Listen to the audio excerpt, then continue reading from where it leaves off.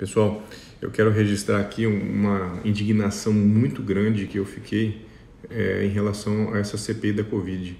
O modo como esses senadores, né, vários dos senadores trataram e estão tratando a doutora Anise Yamaguchi. Eu não assisti tudo, mas algo que me deixou indignado, é, chateado, foi ver as agressões do tal senador Otto Alencar, um sujeito que você percebe que não tem a capacidade nenhuma de se expressar, um, um sujeito tacanho, né? um sujeito mefítico e que ele não consegue ao menos se expressar, falar certas palavras corretamente e dessa forma ele pega informações colhidas aí de jornais provavelmente ou de assessores, algo que ele não tem o mínimo conhecimento e sai agredindo a doutora Anise com todo o currículo que ela tem, com toda a capacidade técnica que ela tem. Você pode discordar de determinadas condutas dela ou concordar. Isso é, é, é da, da medicina, da pesquisa, da ciência.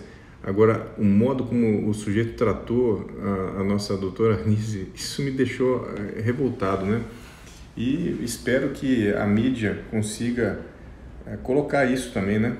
Acho que não vai fazer, obviamente, mas eu gostaria que fizesse.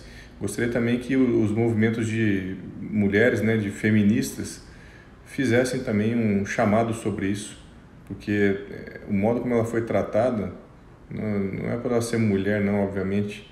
Né, eu, eu não, não, essas causas aí de feministas eu não, não dou apoio a nenhuma, mas o modo como ela foi tratada não se trata ninguém, muito menos uma mulher, né? Não deixar ela se expressar, não deixar ela explicar as coisas, não deixar ela falar, ah, agredir a, todo momento, tentar desqualificar.